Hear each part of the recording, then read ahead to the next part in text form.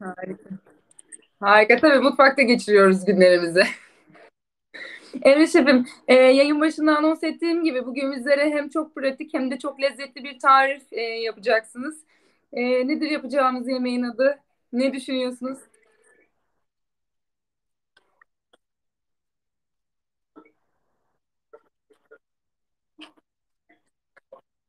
Hı hı. E, Kremalı, amacımız bu. köri soslu tavuk. Evet. E, şimdi bu tavuk göğsü biliyorsunuz tavuk göğsünden yapacağız. Tavuk göğsü biraz yavan bir tadı olur. Bunu tatlandırmak için de tabii ki e, içine çeşitli soslar yani e, soslarla tatlandırmak gerekir. Tabii. E, burada yapacağım teknikte e, öncelikle şey tavukları soteleyeceğim. Yani şey yapacağım. E, mühürleyeceğim ondan sonra e, sebzeleri o mühürlenmiş kalan yani tavuğun fon dediğimiz e, kalıntıları bütün bu aromatik kalıntılarına kalıntılarını da soteleyip e, şeyde suyla veyahut herhangi bir şeyle elinizdeki herhangi bir sıvıyla e, bu şarap beyaz şarap olur, su olur, e, sebze suyu olur, tavuk suyu olur. Bunu deglaze edeceğiz. Ondan sonra da krema ve köriyle tatlandıracağız. Şefim, Yani çok basit. Şefim aslında hepimizin bildiği bir tarif diye ben biliyordum köri soslu tavuğu ama siz şu an mühürleyeceğim dediniz. Ee, içine çeşitli şeylerden bahsettiniz. Aslında bu size özel bir püf noktası diye düşünüyorum. O yüzden Ya, merakla de- da bekliyorum. dediğiniz çok doğru. Çok doğru. Yedi yani ben de üniversitedeyken tabii böyle yapmıyordum. Yani Evet. e, daha kolay, basit hepsini bir arada, arada soteliyordum. E, eğitimi aldıktan sonra işte okul bittikten sonra tabii e, yeni teknikler öğrendikten sonra bunu daha böyle bir e, üst aşamaya daha aromatik aşamaya taşıdım ve inanın tadı daha güzel oluyor böyle yaptığınızda yemekleri. Harika. Ee, şefim merakla bekliyoruz. İsterseniz yemeğimizi yapmaya başlayalım. Bu sırada Tamam. bir taraftan sohbet etmeye devam edelim biz sizinle. Tabii tabii. Ee, ama öncelikle e, sevgili izleyicilerimize e, bir anons etmek anons geçmek istiyorum. Türkiye'de ve dünyadaki yoğun internet kullanımından dolayı kaynaklanan eğer yayınımızda bazı kesintiler olursa lütfen izleyicilerimiz kusura bakmasınlar. Şimdiden özürlerimizi iletiyoruz deyip e, sohbetimize kaldığımız yerden e, devam etmeyi isterim. E, Emre Şef'im bize e, hani başlangıç olarak sunu yemeği yaparken söyleyebileceğiniz böyle bir hani püf noktaları var mıdır? Ya da e, Şöyle e, bu yemekte şimdi püf noktaları öncelikle bir hazırlıklı olmanız gerekiyor. Yani mise en place dediğimiz bizim e, bütün altyapınızın yani kullanacağınız bütün malzemelerin hazırlıklı olması lazım. Hazır olması lazım tezgahta. Gördüğünüz üzere ben bugün e, sebze olarak seçtiğim kabak, e, patates ve havuç seçtim. Bunları Hı hı. sularak yapıyorum. Yayından önce kestiğim için hani kararmalarını engellemek için. Onun dışında kremamız var, körümüz var ve tuzumuz var. E, tavukları da kestim ben. E, burada şey var, püf noktası bir kere tavukları mühürlemeden önce e, ocağın çok yani tavanın çok sıcak olması. Ben burada sızma zeytinyağı kullanıyorum. Genelde yemekleri yaparken çok daha e, sağlıklı oluyor. Kırmızı etle sadece en son tereyağını koyuyorum. O da tat versin diye. E, burada da tabii zeytinyağının tam böyle bir duman noktası diye smoke point dediğimiz duman noktasına kadar ısıtmamız gerekiyor. Evet. Ki direkt mühürlensin et. Hı hı hı. Aslında Onun burada dışında benim en merak ettiğim Emre Şef'im köri. Köri sosunu Hı hı. e, biz geç tanıdık diye biliyorum ülkece. E, Evet, aslında bize birazcık köriden bahsederseniz yani ne kadar koymalıyız? Fazlası zarar mı? Eksiğinde sorun yaşar mıyız? Şimdi şöyle köri sosunun e, ülkelere göre e, değişik renkleri ve acılık oranları var, tat farklılıkları var. E, bu tat farklılıklarının nedeni de e, ülkelerin kendi lezzetlerine koyduğu, yemeklerine koyduğu e, ve tropikal, yani jeolojik durumlar konumlarından ötürü yetiştirdikleri e, bitkilerden dolayı yani baharatın kendisinden kaynaklanıyor. Bugün biz e, Hint körisi kullanacağız. Hı hı. E, şuradan gör, ikinci kameraya geçip de gösterirsem eğer Evet e, bu görebiliyorum. gayet şey e, acısız sarı renkli tabir edebileceğimiz e, bir Hint körisi. Genelde Hintlilerin burada e, mayop dedikleri bir köri. E. Taylandlılar Hı hı.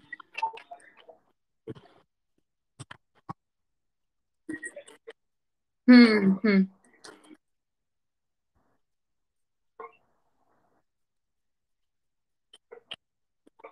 Ha. Dediğimiz acımtırak yani e, hani acı biber acısı değil ama e, Yani acı yemeğimizin değil. lezzetini bozacak kıvama Aynen öyle. getiriyor. Yani evet birazcık e, acı tat veriyor ama ben açıkçası sevdiğim için köriyi çok fazla yani ben biraz rengine göre şey yapıyorum. Rengi, eğer bütün her şeyi kaplıyorsa tamamdır benim için. Evet. Yani önemli olan rengini vermesi. Açık renkli olursa köri sosunun bir anlamı yok. Şu anda dumanlar çıkmaya başladı gördüğünüz üzere. Evet. Ve hemen tavuklarımızı koyuyoruz. Hep kendimizden öteye doğru yatırıyoruz bu arada. Takdirde üzerimize sıçrama riski var. Emre Canım. Şef'im merakla bekliyoruz böyle ta şey e, tarifin sonunu bekliyoruz. Bu arada biraz da tavuktan bahsedebiliriz aslında. Hı hı. E, zannediyorum ki hani tavuğa hayır diyebilecek kimse yok. Yok. E, bence de. 7'den 70'e kadar e, tavuğun her çeşidi bu arada seviliyor. Peki sağlık açısından aslında ben merak ediyorum biraz da. Yani tavuğu e, nasıl saklamalıyız? Nasıl bakmalıyız sağlık açısından? Yani buzluktan çıkardığımızda e, direkt yem- yemeli miyiz? Şimdi şöyle e, şöyle bir şey var. Tercih meselesi. Yani şöyle e, tavuk kesecekseniz eğer donuk kesmek daha kolay. Yani porsiyonları eşit hale Hı getirmek hı. daha kolay. Ondan sonra çözdürüp zaten hiçbir e, eti e, şey yapmıyoruz. Çözdürüp de ama çözdürmeden yani donuk halde ateşin üstüne atmıyoruz. Çünkü neden? İçindeki o donduğunda etrafını tabii ki kar ve e, suyla buzla kapladığı için o da yağda sıçramalarla e, çeşitli kazalara neden olabilir, yanmalara neden olabilir. Bir ikincisi etin eşit pişmemesini sağlıyor. Yani Hmm. biz etin kalın yerleri, ince yerleri çözülmüş oluyor, daha çok çözülüyor ateşte. Bu E, çok ama önemli şeyde oldu. Aynen öyle kalın yerleri hala buzlu kalıyor. O yüzden onlar biraz hı. haşlama gibi oluyor. O yüzden eti, bütün etleri oda sıcaklığında getirip ondan sonra yemeye başlamak gerekiyor. Anladım. Eşit, bu da, bu da bu tek nedeni arada eşit pişirme. ha, şefim bu arada ben gördüm e, siz tavukları bütün olarak koydunuz. E, dilimlemediniz Evet. zannediyorum değil mi? Aynen öyle. Yani ben bütün göğüs olarak kullandım. Bunun nedeni de şey, benim prezentasyonumdan kaynaklanıyor. Başka bir hiçbir şeyi yok yani nedeni yok. Yani normal e, jülyen olarak da kesitte de tekrar verebilirdim ama ben sadece prezentasyonu bugün böyle yapacağım. Şefim Evet. merakla bekliyoruz şimdi yapacaklarınızı. Buyurun. E, peki Şöyle e, gördüğünüz şefim üzere Heh. yani bu renk yeterli. Çünkü ince görebiliyor musunuz evet evet evet Ee, bu renk yeterli olacaktır. Çünkü tavuklar ince fazla da kurutmak istemiyorum açıkçası. Hı Ee, hı. önemli olan yani bir tavuk göğüs etinde önemli olan şey çok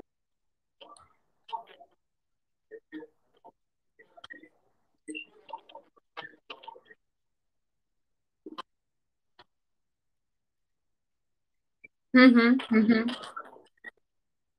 Peki şimdi sosu ayrı bir yerde mi yapacağız şefim? Yoksa direkt tamam.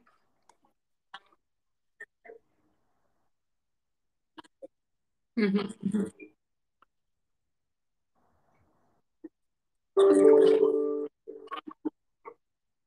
Hı hı. Şimdi bunlar oldu. Tavukları ayrı bir yere alıyoruz. Tamam. Şimdi gördüğünüz üzere içindeki e, şu parçalara tavuk fondu dediğimiz Evet. e, parçalar bunlar tamamen aromanın olduğu parçalar. Şimdi e, tavam hala sıcakken ben burada sebzelerimi Tamam. Peki Emre şefim sizin söylediğiniz sebzelerin yanına biz onu çeşitlendirebiliriz değil mi? Tabii ki de yani sebze sadece bugün ben e, kendi sevdiğim sebzelerden yapmak istedim. Yani e, tadını tamamen çeşitlendirebilirsiniz. Bence patlıcan da çok iyi bir seçenek. Ama önemli olan burada sebzeleri mümkün olduğunca eşit Hı hı. şekilde kesmek. Tabii Aksi sizin burada evet sizin burada gastronomi ve mutfak sanatlarında şef olmanız aslında yaratıcılığınızı da ortaya çıkartıyor. Ee, devamlı yaratıcı yani yaratıcılık üzerine bir şeyler deniyor musunuz şefim? Var mı bize önerebileceğiniz böyle yemek yaparken özellikle püf noktaları? Ya püf noktası şöyle e, önerebilirim ben. E, denemekten korkmayın. Yani hı hı. sürekli yanlış yapacaksınız. Burada e, hepimiz şefler olarak söylüyorum yani bunu yurt dışına da çıksak ya da şu andaki ünlü şefler hı hı. de olsa e, hepsi de aynı şeyi söyleyecektir. E, mutlaka bir şey yaparken yanlış yapıyorsunuz. Ya yani onu mükemmelleştirene kadar bir sürü deneme yapmak zorundasınız. O yüzden denemekten vazgeçmeyin ve şevkiniz kırılmasın ve e, damak tadınıza güvenin. Hmm. Ben öğrencilerime hep şunu söylerim. Benim eğitimimde, benim şefimin de bana söylediği şey vardır. Yemek pişirmenin yüzde onu beyin, yani Hı-hı. öğrendiklerin bilgi. Evet. Geri kalan yüzde doksanı da kalp. Kalbine güveneceksin yani. Hissiyatına güveneceksin. Ee, yani hani yemek birazcık kendine güven ve hissetmekle alakalı, içinden gelmesi. Evet, evet, içinizden gelmesi. Ben de ona inanıyorum. Ee, peki Emre Şef'im, siz hani yemeği yaparken devam ediyorsunuz. Ben de bir taraftan sohbet etmeye çalışıyorum. Ee, aslında aklıma gelen de şu. Malum hep evdeyiz. Ee, çok fazla yemek yiyoruz. Ee, özellikle kahvaltılarda ya da yine akşam yemeklerinde bize önerebileceğiniz aklınıza gelen böyle pratik tarifler var mı bizimle bir taraftan da böyle hani şunu önerebilirim diyebileceğiniz biraz da sağlıklı e, kilo almayacağımıza yönelik. Kahvaltılarda e, şöyle ki benim kendi şahsen e, kahvaltıda sağlıklı diye tabir edebildiğim bir tabir şöyle vardır. E, sebzeli yumurtaları tabir, sebzeli omletleri tavsiye edebilirim. e, bunlar çok önemli. Çünkü yumurta biliyorsunuz bizim daha uzun süre tok kalmamızı sağlayan bir protein evet, şeyi. Evet. E, ekmek özellikle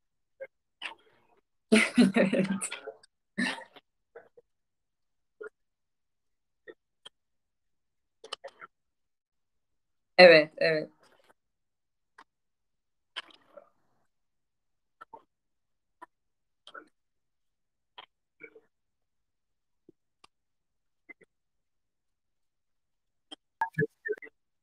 Ya bu çok önemli. Çünkü greyfurt'u herkes sevmez şefim. Yani biraz tadı ekşi biliyorsunuz.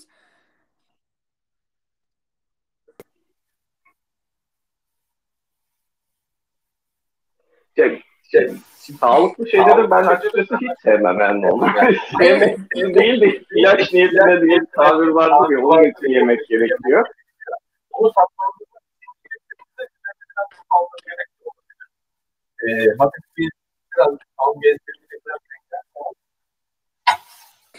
Şefim bu arada e, çok fazla tabii öğrencilerimiz de izliyor ve mutfak sanatları gastronomi bölümünü merak eden öğrencilerimiz de çok fazla şu anda bizi izliyorlar.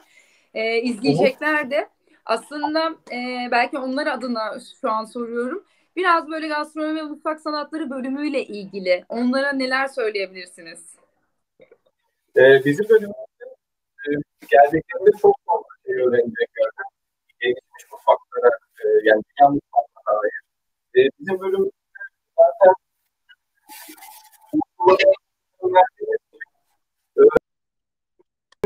e, dünyada şu anda uygulanmakta olan yeni tekniklerin hepsini öğretmeye çalışıyoruz. Sıfırdan hiçbir şekilde hiçbir deneyim olmasa da gelen öğrencilerimize mezun ettiğimizde e, şu anki e, hı hı. aşçılık yani hizmet sektöründe e, iyi yerlere gelebilecek şekilde eğitiyoruz. Özellikle evet. e, zaten mezun olmadan kendileri gerçek bir restoran işletmesinde çalışır gibi kendileri menü hazırlayıp kendileri servis yapacaklar. Dördüncü sınıfa geldiklerinde.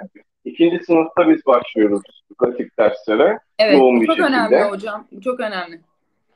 Ee, ve mutfağımız zaten e, tamamen yeni yapılıp e, elektronik tarafından bütün tedariği sağlanmış olduğundan dolayı son teknoloji ürünler kullanıyoruz. Hı hı. Ee, onun dışında e, zaten benim kendi eğitimimden kaynaklı ve diğer hocalarımızın da kendi dünyadaki dünya mutfaklarına dair bayağı çok eğitimleri var. E, o yüzden onlardan çok şey öğrenecekler. E, şimdi bizim burada biliyorsunuz Türkiye'de. E, aşçılık birazcık alaylı kesimde şu anda kontrol. e, bizde biraz geç geldi açıkçası. Biz biraz dünyanın evet. gerisinde kaldık gastronomi açısından. Biz bunu yıkmaya çalışıyoruz okul olarak. E, bizden çıkan öğrencilerimiz e, gayet e, okumuş, tekniğini bilen, bilimli e, ve yeniliğe açık insanlar olarak mezun olacak. Yani şu anda hani ben kötülemek için söylemiyorum ama e, daha yani benim kendi gördüğüm alaylı e, aşçılarımız kendi bilgilerinden başka bilgiye çok fazla açık olmuyorlar. Tabii. E, biz bunu yıkmaya çalışıyoruz. Şu anda dünyada zaten e, sürekli bir ilim gibi oldu bu. Hı hı. Çünkü daha sonra bir araştırma bilimi aslında. Yani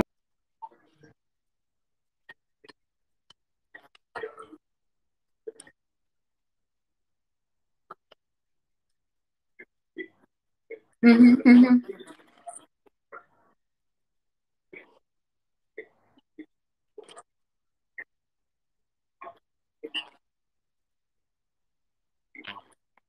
Hı hı.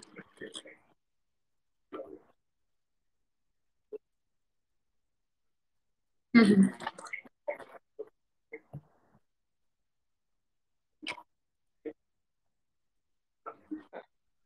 Ee, ben bunları da öğretmeye çalışıyorum hı hı. çocuklara, hı hı. öğrencilerimize.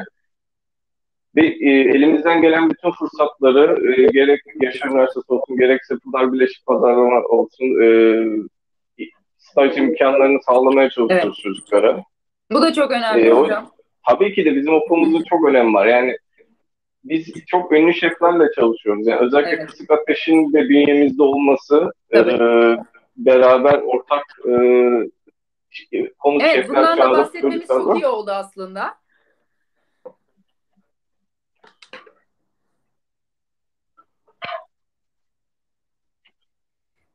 Şimdi e, Ali Roma'yı biliyorsunuzdur kısık ateşte yani o kendisi geldi çocuklarla e, bir ders oldu. O da çok iyi bir moral oldu.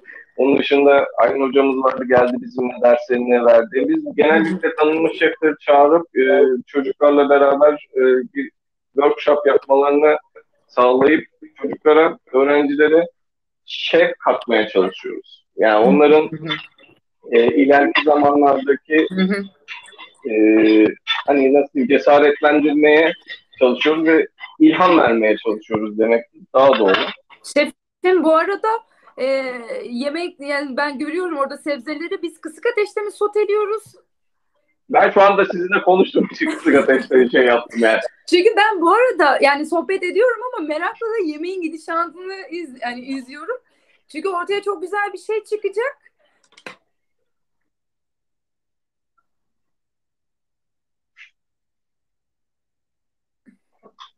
Şimdi şöyle, e, e, burada biz hem sohbet edip e, hem yemek yapınca birazcık hepimizin de hem ekran başındakilerin hem de bizim iştahımız açılıyordur tahminimce. E, sonuçta biz burada yapmak istediğimiz şey de zaten o. Hani insanların iştahını açabiliyorsak ne mutlu bize. Yaptığımız evet. yemekleri tattırıp onları mutlu edebiliyorsak zaten evet. bizim için e, aşçılar olarak en büyük kazançtır. Bir şey yaratıp da insanları mutlu etmek. Zaten istediğim şey şefim yemeği yapalım ve siz hepimizin adına yemeği bir tadın istiyorum şu anda. Sonra şey olmasın ya ben sadece kendim hani tattığımda size ayıp olmasın. Zaten ben onu yiyeceğim çok güzel olduğuna inanıyorum ya.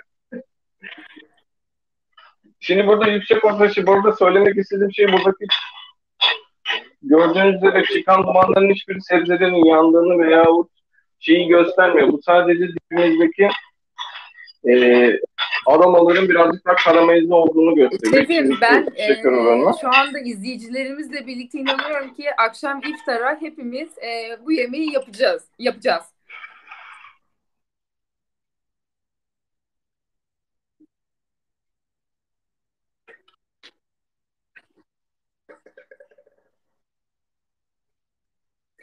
Şimdi ne koydunuz şefim? Tam göremedik ama.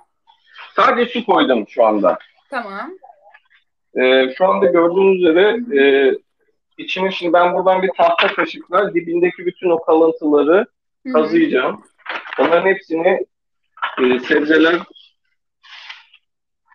renk aldı hafiften. E, geri kalan her şeyi kazıyıp sosumuzun içine katacağız. Birazcık suyun e, buharlaşmasını sağlayacağız. Suyu kaybedeceğiz. Ondan sonra da buharlaştırdıktan sonra e, içine kremamızı koyacağız ve krema burada bizim e, sosumuzun kıvam arttırıcısı. Evet. Krema ile beraber biz körümüzü koyacağız içine. Tamam. Renkler, e, sebzelerin renkleri şahane gözüküyor. Yani çok iyi oldular ya. Gerçekten de benim, benim de şu anda karnım acıktı açıkçası. Akşama az kaldı diyelim. Ee, Emre Şef'im peki e, hani sebze yemekleri mi ağırlıklı daha fazla tüketmeliyiz? Şimdi yaz aylarına geliyoruz yoksa bir orantı var mıdır? Yani et, tavuk bize özellikle önerebileceğiniz hani haftada şu şu şekilde beslenirseniz daha sağlıklı olur diyebileceğiniz. Şimdi şöyle aslında bu tarz e, soruları hani şeflere sorulması Hı-hı. bence çok yanlış. Yani şöyle diyeceğim e, biz sonuçta şefiz ama gıda mühendisi veya hani diyetisyen evet, değiliz. Evet. Hani bu soruları ne kadar biz kendi tercihimize göre yani şahsi fikrimize göre cevaplarsak eğer benim tercihim biz sulu yemekler yapıyoruz, etli yemekler yapıyoruz. mesela şey, e, en çok sevdiğim yemeklerden biri etli nohut o benim mesela ama bence e, biz kendi sebzelerimizi ayrı pişirip, etimizi ayrı pişirip, onları bir tabakta birleştirip öyle yemekler yiyebilirsek bu dengeyi sağlamış olurum. Yani sulu yemekler yemek bence e, çok sağlıklı olmuyor. Ne kadar çok sevsem de çünkü yanında pilav yapıyorsunuz. Ondan sonra pilav olmasa ekmek. Yani evet. banarak yemeği seviyoruz. Yani evet. çok ekmek yediriyor bu. O yüzden hani Şefim bu yemeğin yanına yemek. bize ne önerirsiniz akşam iftara? bu yemeğin yanına şunu e, şöyle bir şey önerebilirim. Makarna. Yani e, bir tam buğday makarna güzel olabilir. Çünkü kalan krema sosunu tavuğunuzun üstüne dökeceğiz birazcık ama kalan sosu da e, direkt makarnamızın üstüne de döküp de yiyebiliriz. Onu da değerlendirebilirsiniz. Hı hı. E, onun dışında zaten sebzesi ve kendisi var. Sadece tavuk suyu çorbası da yapabiliriz. Tavuk suyu çorbası başka hiçbir şeye gerek yok bence. Sadece çorba ve ana yemek bence yeterli olacaktır. Tatlıdan uzak durmakta fayda var bu arada. Özellikle şefim, Ramazan'da. Şefim bu arada yemeği biraz hızlandıralım. E, vaktimiz biliyorsunuz kısıtlı. Hani biz e, özellikle o soslama kısmını merak ediyoruz. Sesiniz şimdi gitmişti de bir daha tekrar alabilir miyim? Ee, şefim tekrar söyleyeyim. Hani biliyorsunuz e, yayın vaktimiz kısıtlı. Yemeği biraz hızlandırabilirsek özellikle o soslama bölümünü çok merak ediyorum. Şimdi zaten tam zamanında tamam. geldi. E, şu anda kremamızı döküyoruz. Tamam.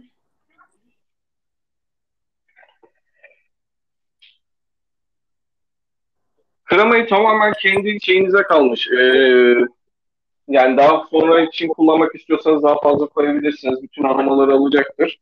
Tamam. Ben kendim şahsen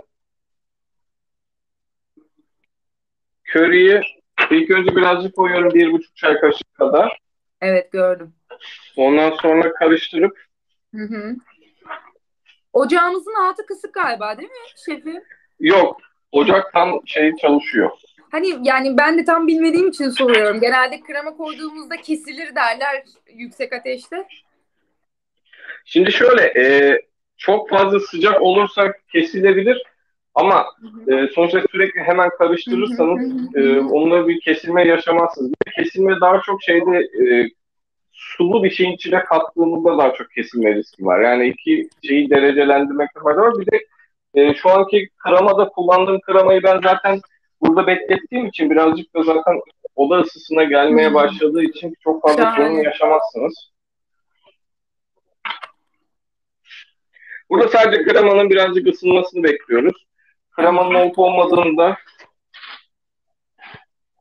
kaşıkla yardımıyla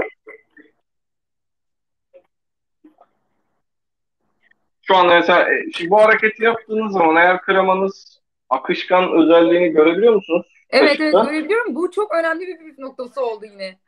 Evet şu anda mesela daha olmamış. Şu anda birazcık daha pişmesi gerekiyor.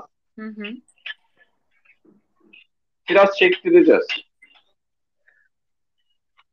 Şefim yemek için çok pratik dedik ama aslında hı hı. E, yani pek başından ayrılabileceğimiz bir yemek değil. Şu anda bakın gördüğünüz üzere oldu krema. Tamamen ateşten alıp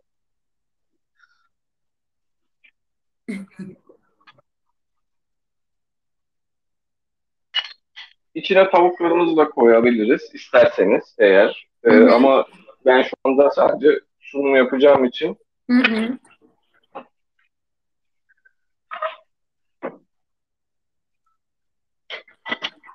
şimdi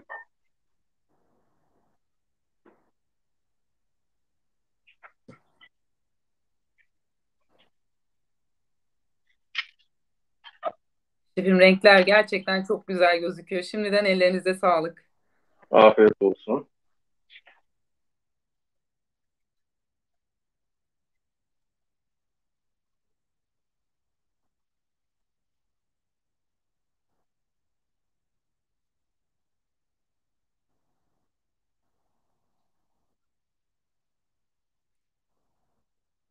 Akşam için kesinlikle bu yemeği yapacağım şefim.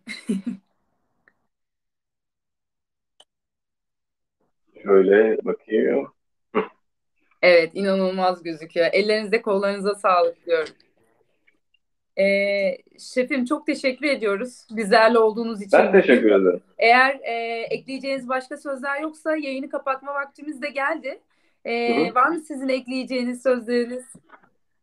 Şu anda e, tek söyleyeceğim bir şey, herkes evinde kalmaya dikkat etsin. Yani e, gidişat iyi gidiyor gibi görünüyor rakamlara baktığımızda ama bu bizi e, gevşememize neden olmamalı. Yani Evet. şu anda dünya çapında bir savaş veriyoruz bu virüse karşı. O yüzden mümkün olduğunca evimizde kalalım ve e, diğer insanları ve sevdiklerimizi düşünerekten bunu yapalım. Çünkü sadece kendimize bulaşmaması değil burada Doğru. olmak. Başkalarına bulaştırmamak önemli. Emre Şefim çok teşekkür ediyoruz. Lezzetleriniz için de çok teşekkür ediyoruz. Ee, Ben teşekkür ederim. Size hoşça kalın diyorum. Ee, Yaşar Üniversitesi Evde Kal Söyleşilerinde bugün Emre Şef ile birlikteydik. Bu yayından sonra da Evde Kal Söyleşilerimiz devam ediyor olacak. Ee, bizleri Facebook, YouTube ve Instagram sayfasından takip edebilirsiniz. Bizleri izlediğiniz için çok teşekkür ederiz. Evde kalın ve sağlıkla kalın diyoruz. Hoşça kalın.